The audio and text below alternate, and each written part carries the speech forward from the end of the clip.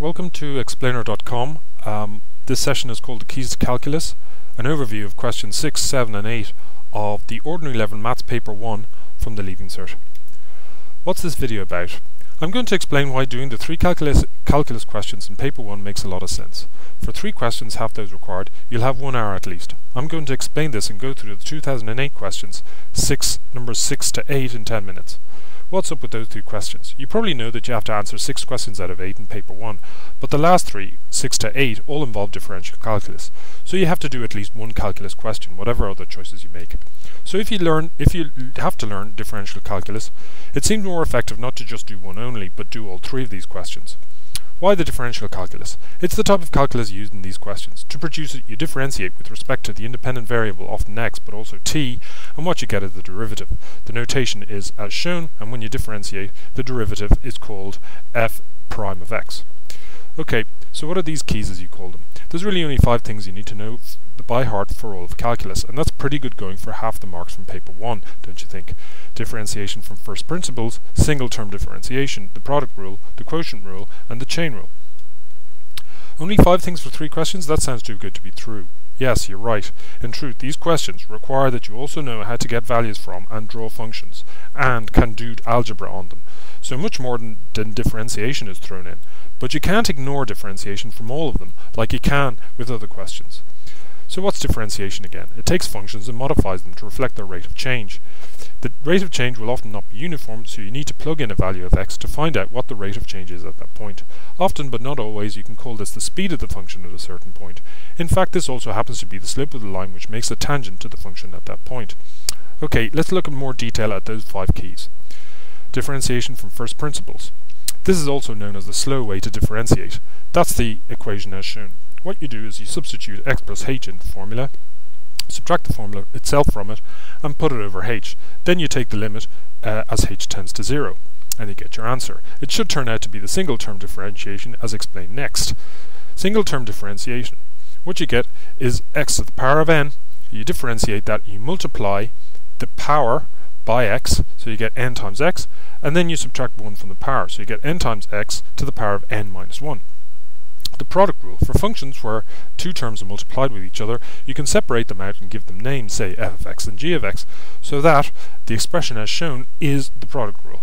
Okay, so you differentiate the first function f of x multiplied by g of x undifferentiated, and then add it to g, g of x differentiated multiplied by f of x undifferentiated.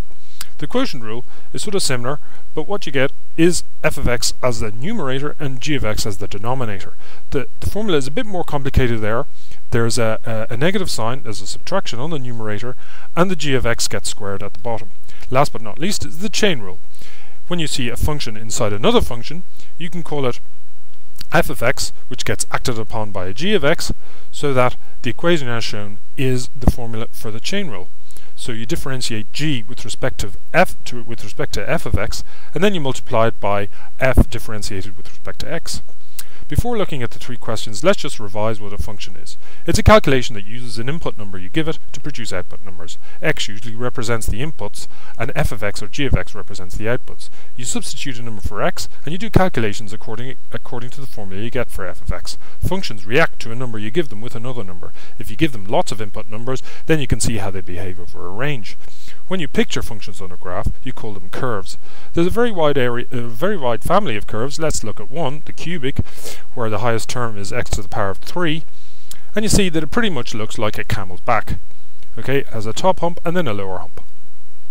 On to the questions. Okay, hold on tight as we go through the three questions from 2008 now. I'll answer most of them, but there but there will be some that I'll only give clues to, or some brief di uh, directions. Questions 6 to 8 from other years are similar in nature, but there are differences in the details. Okay, question 6. The first question was a simple um, 2, 2x minus 5 equals uh, equals 19. You should get x equal to 7 there. The second one was uh, was a, a single term. Sorry, it's a, a, first principles differentiation. So you have to you have to substitute x plus h as, as x in there and taking the limit. You should get 6x as the answer. And then the, the, the third part of this question was clearly a quotient rule because we have a, a numerator function and a denominator function. And there's a second part to that section where we ha we're told that the curve y equal f of x at the point 0, 0 makes uh, an angle of 135 degrees with the positive sense of the x-axis, okay, well you plug in 0, 0 into the derivative that you just calculated and see if it equals tan uh, 135 de uh, degrees, which happens to be minus 1. Question 7, again you're asked to differentiate x to the power of 7 and then 5x minus 3 times x to the power of 4. These are single term differentiations and the answers are fairly straightforward. The next part was multiplying two functions in brackets and you can uh, apply the product rule there or you can expand them out and treat them as single term differentiations. You'll get the same answer. Then second part of part B where you're given a function to the power of 8. Okay, well that's complicated enough to need the chain rule. So you let g equal f to the power of 8 and treat it separately from f of x which is the, the term inside the brackets. Part C, a distress flare is tested by firing it vertically upwards from the top of a tower. The height, h, is equal to 20 plus 90 times t minus 5 t to the power of 2, uh, where t is time. Find, uh, okay, it's designed to explode at 7 seconds after firing.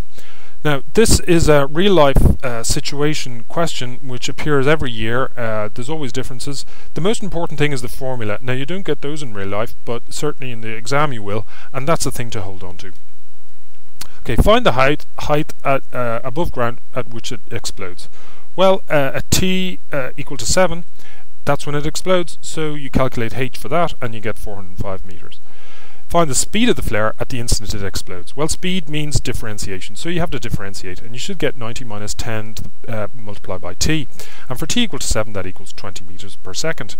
If the flare failed to explode, find the greatest height above the ground that it would reach before falling back down. Okay, well that's a maximum. You have to set the derivative to 0, you should find that t equals 9 in that case, and then you get h equals 425 meters. Okay, now question 8. Question 8 was in fact you were given a cubic function, which you've already seen the shape of already, and there's six parts to it. The first part, you just have to let x equal 1 and let x, uh, x also equal 5 and see what the, the values you get from it. Then you have to uh, differentiate it. And then the, the third part is the biggest part, find the coordinates of the local maximum point and the local minimum point. Well, what you do is you get the derivative and you set it to 0, and you solve it, you should get 2 and 4 to be the answer. You plug 2 and 4 into the main equation and you get 2 and minus 2 out of there. But what is the which one is the maximum and which one is the minimum? Well, the one with the highest uh, f of x value, the first one, must be the maximum. And the other one with f of x equal to minus 2 is the minimum. Now draw the graph of the function f of x in the domain 1 to 5. Well you've already worked out uh, some values of f of x for that range and then you know that it, it, then you know what the shape is like so you can draw it quite easily. And then to find when the derivative is less than 0, well that's when it's going downwards and you should find that that happens between 2 and 4. The final part is that you're told that there's a line that's a tangent to that curve. Okay, well you have to let that uh, the, the derivative of the curve equal the slope. Now the slope as you can sh see should be minus 3 and the the value that you get you, you get a, a, quadratic and you find the solution to that is x equals to 3 uh, when you put that back into the equation you get 0 so you set y equal to 0 and x equal to 3 and you get c equal to 9. Okay, well that was a lightning fast through, run through of the questions. Probably it was too fast. Please ask some questions in the comment section and I'll be sure to answer you because questions 6 to 8 on paper 1 are a good bet. Thanks for your attention.